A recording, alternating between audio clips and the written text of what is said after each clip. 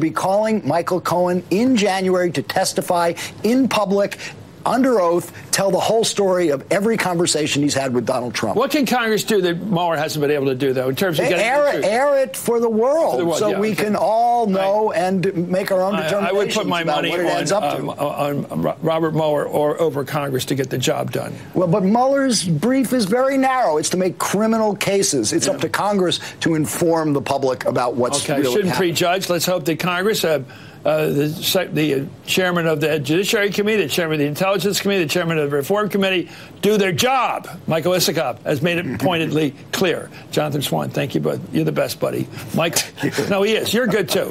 This guy's the I thought you best. were saying about me the No, best. no, because he- he's been around for years, scared the hell out of me. He's so damn right, good. right. He's so damn Not good. as long as you, Chris. No, so you're so damn good. Up You next, guys should get a room. Yeah. Is that in the comedy here? To- Up next, uh, Senator Amy Klobuchar come here and talk seriously compared to this to talk about what she calls the grace and dignity with which the late President George Herbert Walker Bush treated his friends and, more importantly, his rivals. I want to hear a little of this from a good Democrat, Amy Klobuchar from Minnesota. This is Hardball the Actionists.